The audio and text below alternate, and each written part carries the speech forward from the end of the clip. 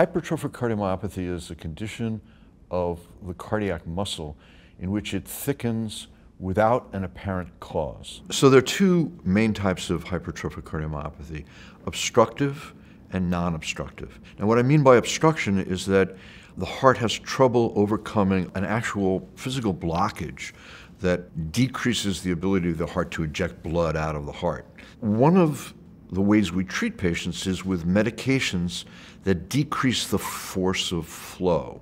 So by decreasing the force of flow out of the heart, it decreases the pushing force on the mitral valve, and that decreases the obstruction. The other type of uh, HCM is non-obstructive HCM.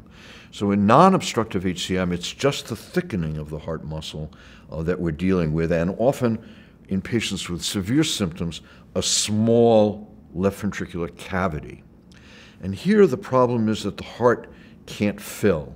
And if the heart can't fill, it can't pump enough blood. So normally the heart can increase the amount of blood that it pumps by three or four times. Patients with non-obstructive HCM, they can't fill. Consequently, they can't increase um, the um, amount of blood that they pump to the rest of the body uh, when the rest of the body demands it because of exertion.